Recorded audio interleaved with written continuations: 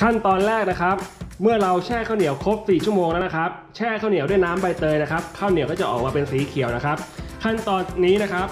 นำข้าวเหนียวของเราไปล้างน้ำให้ใสเลยนะครับ ล้างสัก 2 น้ำนะครับเพื่อนๆนำข้าวเหนียวไปล้างให้สะอาดเลยครับ ขั้นตอนนี้นะครับล้างข้าวเหนียวเลยครับ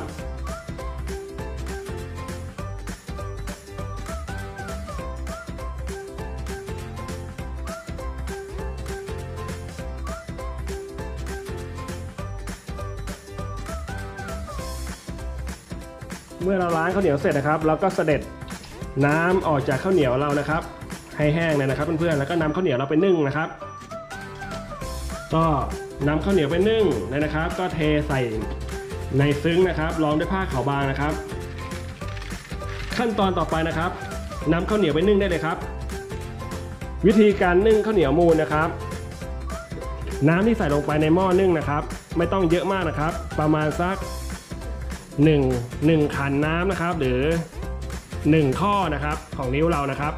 เพราะว่าถ้าน้ำเยอะไปนะครับ ไอน้ำนะครับ หรือฟองอากาศจะเข้าไปโดนกับตัวข้าว ฟองที่เดือดนะครับ จะโดนกับตัวข้าวนะครับทำให้ข้าวแฉะได้นะครับ ขั้นตอนนี้นะครับนึ่งข้าวเหนียวมูลของเราทิ้งไว้เลยครับ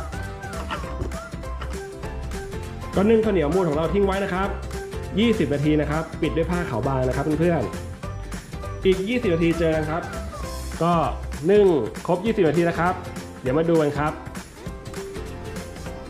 ก็มากลับด้านนะครับ เอาด้านบนนะครับ ลงไปนึ่งต่อนะครับ อีก 15 นาที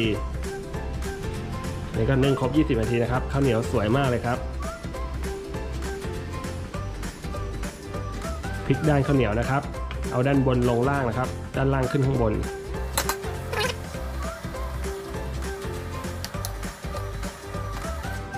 แล้วก็นึ่งต่ออีก 15นาทีครับเพื่อนๆ อีก 15นาทีเจอครับ ก็นึ่งข้าวเหนียวครบแล้วนะครับ มาดูข้าวเหนียวกันนะครับเพื่อนๆ ข้าวเหนียวใบเตยนะครับ ก็สุกใสนะครับ เขียวสวยงามมากนำข้าวเหนียวของเรานะครับ ไปมูนกับกะทิเลยครับเพื่อนๆ ขั้นตอนนี้นะครับ มาทำกะทิมูนข้าวเหนียวกันเลยครับเพื่อนๆ หัวกะทิ 500มิลลิลิตร เกลือ 1 ช้อนโต๊ะ น้ำตาลทราย 1 ถ้วยตวง ก็คนให้น้ำตาลละลายนะครับ เมื่อน้ำตาลละลายแล้วนะครับ ขั้นตอนต่อไปนะครับนำกะทิมูลข้าวเหนียวของเราไปเคี่ยวไฟอ่อนๆกันนะครับเพื่อนๆขั้นตอนนี้นะครับนำกะทิมูลข้าวเหนียวของเรานะครับ ที่ผสมน้ำตาลเรียบร้อยแล้วผสมเกลือนะครับ มาเคี่ยวไฟอ่อนๆนะครับ ไม่ต้องเคี่ยวให้เดือดนะครับเพื่อนๆเคี่ยวแค่ให้น้ำตาลละลายนะครับ แล้วก็พอร้อนพอประมาณนะครับ ก็จะได้กลิ่นหอมของหัวกะทินะครับเพื่อนๆ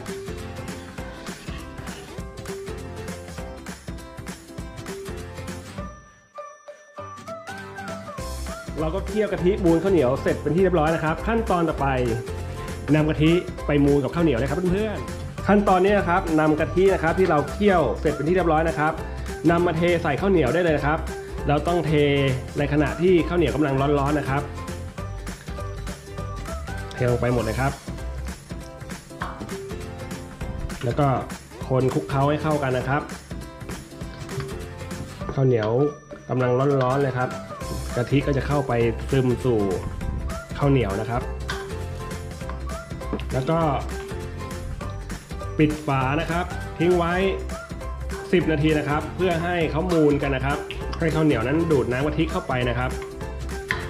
อีก 10 นาทีมันเจอกันครับ ก็มูลข้าวเหนียวครบ 10 นาทีนะครับ ก็มาพลิกด้านนะครับ กลับด้านนะครับเพื่อนๆ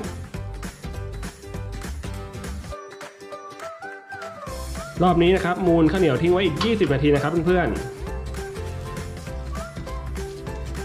ก็ปิดฝาเลยครับ อีก 20นาทีเจอกันครับ เราก็มูนข้าวเหนียวนะครับ ครบ 20นาทีนะครับเพื่อนๆขั้นตอนต่อไปนะครับ พร้อมเสิร์ฟครับ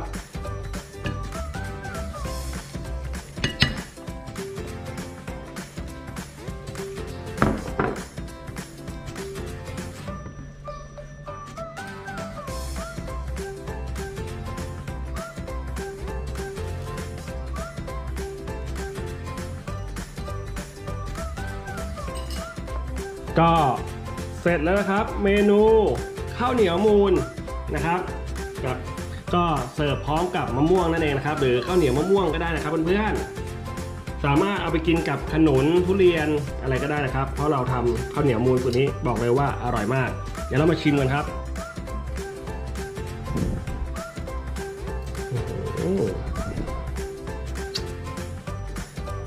ดูครับเพื่อนๆ